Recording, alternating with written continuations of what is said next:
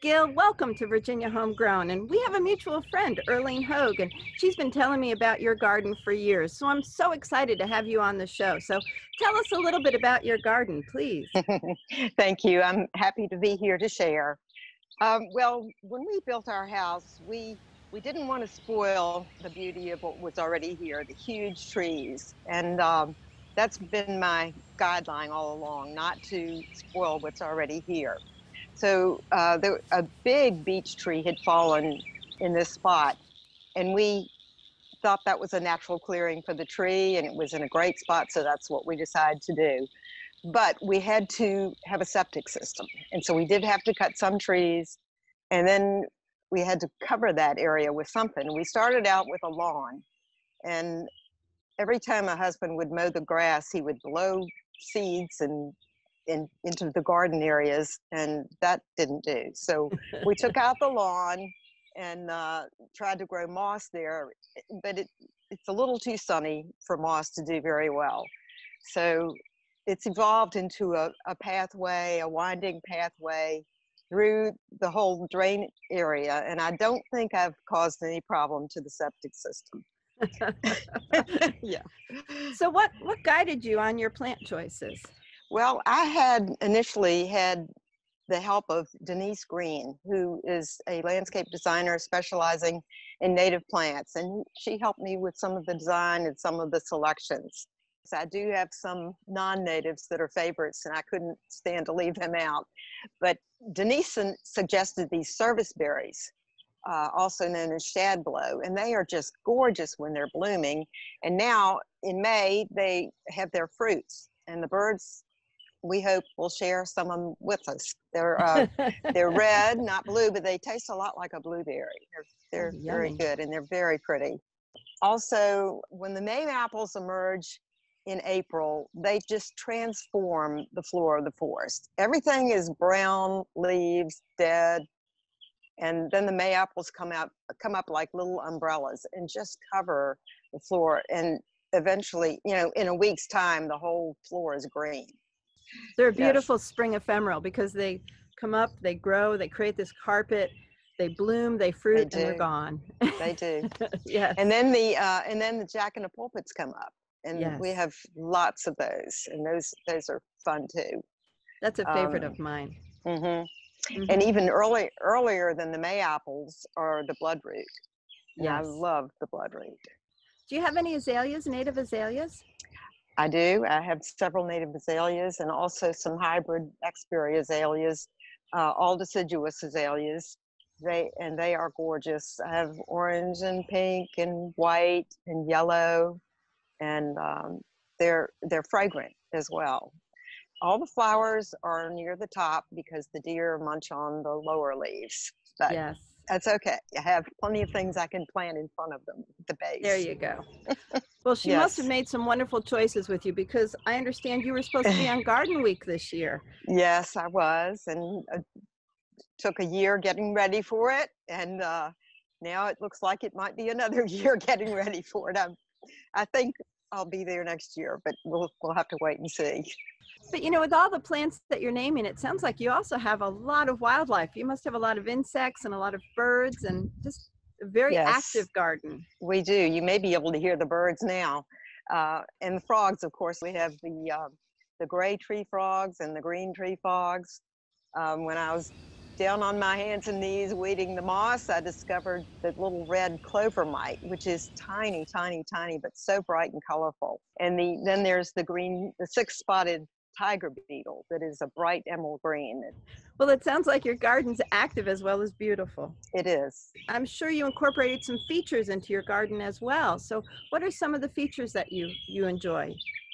Well, um, the area got so large that I wanted to divide it into different rooms. They call rooms. So mm-hmm. I have the the sunny area next to the pergola, which I can grow some uh, more sun-loving perennials. And um, then I bought this beautiful Carolina silver bell and made that the center of my moon garden. So in the moon garden, there's nothing but white blooming flowers. And besides the Carolina silver bell, I have foam flower, dwarf crested iris, I have several varieties of daffodils, bloodroot, epimedium, several different anemones, and a fringe tree. And then we, um, I wanted something for the children, so I started a little miniature garden. I even have some miniature ferns in there, some spleenworts that are that are really pretty. And then there was the moss garden. Behind the house, there was a, a creek, and we decided to dam the creek and build a pond.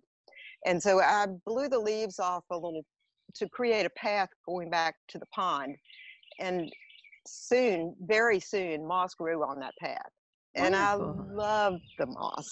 And yes. so every time I would blow leaves, I would blow more and more. And so now it is a huge moss garden. And it's wonderful in the winter because you you look out and there's just the sea of green. That sounds lovely. yeah, that sounds lovely. Do you have any elements of your garden to add sound into it?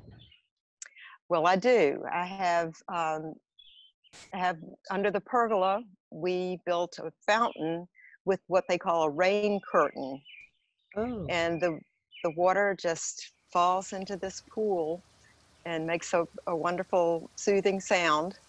Um, the only problem with the rain curtain and the fountain is we have a lot of tree frogs and the tree frogs love to get into the fountain and lay eggs and then we have tadpoles and they don't go very well with the fountain so we have to scoop out all the tadpoles take them down to the pond let them go and then i can hear a tree frog right now and uh, then we can cover it up to keep the frogs out well, it sounds like you've had a lot of successes, but have you had any failures that you want to share? Because we all like to hear uh, about, you know, I have made some poor choices. Um, Japanese black bamboo, oh. for one. Equisetum an, was another. Uh, right now, I'm battling lizard tail.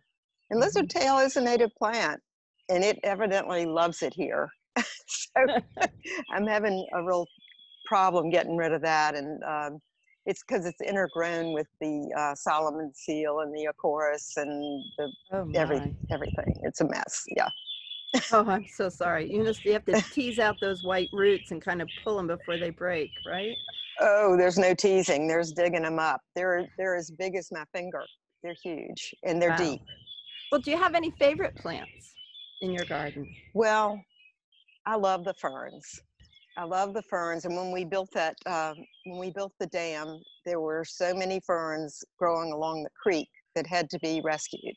So I, I dug them up and lugged them up the hill in five-gallon buckets and planted them all around the area. And of course, there were already lots of the Christmas ferns here, but uh, now I have thousands, and they're just beautiful.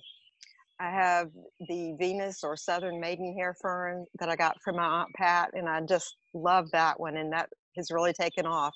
That is so delicate mm-hmm. and uh, not not evergreen like the Christmas ferns, but I love that one. And then there's the autumn fern. That is yes. evergreen, and it has that beautiful new red foliage in the spring, which is so pretty. It's very upright and really makes a statement. The, it's a great um, landscape plant too. It's easy to grow in a landscape too. It is. It is. Mm-hmm. It is so pretty. Um, another one that I love is the Dixie wood ferns, and I um, put a tape measure on them the other day, and they are five feet six inches tall. Oh my! they love it there. they do. The cinnamon fern, that's also five feet six.